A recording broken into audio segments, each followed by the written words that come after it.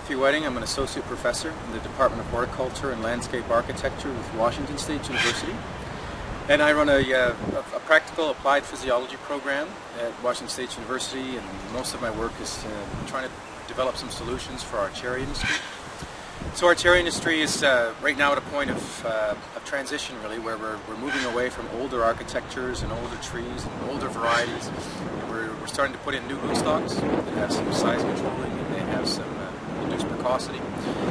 Uh, and so we have an opportunity to sort of redefine what that orchard of the future is going to look like And we were trying to lead, lead the way in, in developing uh, two-dimensional architectures, very planar structures, getting away from those large three-dimensional canopies that are difficult to difficult to prune, they're costly to harvest.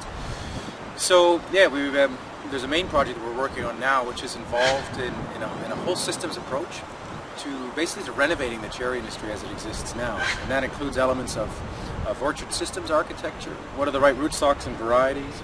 It also has elements of, of understanding the genetics and the genomics of, of abscission for a mechanized harvest.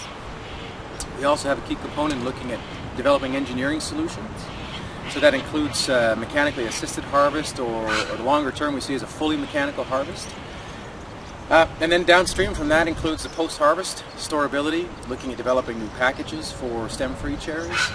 And then we're also looking at uh, consumer acceptance of stem-free cherries, looking to partner with retailers to, to develop markets uh, for stem-free cherries, as well as lastly looking at um, economic models for outreach and adoption. So being able to say at the end of this that as growers are transitioning or they're taking out orchards and want to replace, well we have a good story that, that involves, we know what varieties to plant, how you should plant and prune those, uh, we've got a good market for those fruit, good, good returns, and we can prove to you that it makes sense for your business.